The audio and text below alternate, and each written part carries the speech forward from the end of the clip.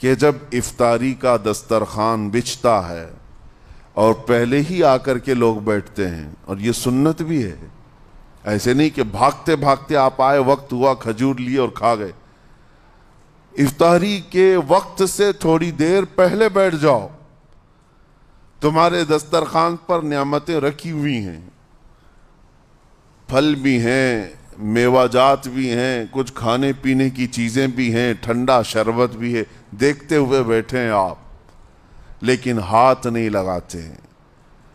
इंतज़ार है वक्त का कि इधर सूरज के गुरूब होना है और मेरी इफ्तार होनी है। ऐलान सुनते हैं, अजान सुनते हैं, उसके बाद आप उठाते हैं, लेकिन उतनी देर तक आप खामोश बैठे हैं दस्तरखान के पास। सारे लोग देखते रहते ये वो मंजर है जिसको फरमाया गया रब जलाल भी अपने बंदों को देख रहा है। रब तबारक ताला भी देख रहा है अपने बंदों को। और सारे फरिश्तों को बुलाकर मेरा मौला ऐलान फरमाता है, ये मेरे बंदे हैं, देखो। ये शाम का वक्त है, इनके हलक सूख चुके हैं। इनके पेट में भूख की शिद्दत है, और इनके सामने अच्छी नियामतें पड़ी हुई हैं। ए फरिश्तों, देखो मेरे इन बंदों में से कोई भी इन नियामतों को हाथ नहीं लगाता। ये सिर्फ़ और सिर्फ़ मेरे लिए भूखे और प्यासे हैं। और फरिश्तों से अल्लाह फरमाता है, तुम गवाह हो जाओ। इनकी हलक तर होने से पहले इनके लिए मैंने जन्नत लिख दिया। इसीलिए हदीस पाक में है, जब इफ्तार करते मेरे आका सल्लल्लाहु अलैहि वसल्लम यूँ इरशाद फरमाते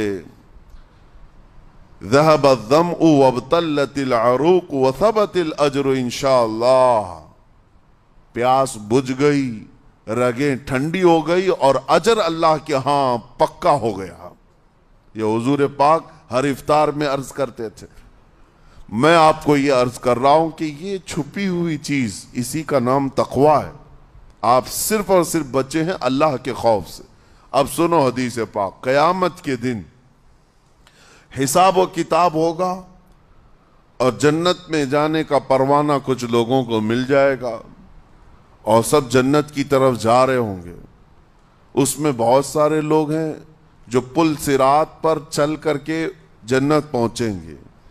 अब जब काफ़ी लोग जन्नत के दरवाजे पर पहुँचेंगे, एक जमात ऐसी होगी जो पूरे रास्ते में कहीं नज़र नहीं आई। जन्नत जाने के रास्ते में कहीं नज़र नहीं आई, लेकिन जन्नत के दरवाजे पर वो पहले से मौजूद थे। चले थे, नहीं चले थे, किसी ने देखा ही नहीं। दूसरे जन्नती उनसे पूछते हैं उस जमात से कि तुम यहाँ कैसे पहुँचे और ये इनाम किस बात का है तुम्हारे लिए? तो वो जन्नती कहते हैं, हमें रोजेदारों की जमात में रखा गया। हमारे रोज़े अल्लाह को पसंद आए और आज रब तबारक ताला का हुक्म हुआ कि सारी दुनिया से छुप कर तुम मेरे लिए रोजा रखते थे। दुनिया को पता नहीं था तुम भूखे हो, प्यासे हो। और ए बंदो, आज सारे लोगों की नज़रों से छुपा कर मैं तुम्हें जन्नत पहुंचाऊँगा। वो एक जमात ऐसी है जो रास्ते भर चलती हुई नज़र तो नहीं आई, लेकिन जन्नत में पहुँच गई, वो रोजेदारों की है।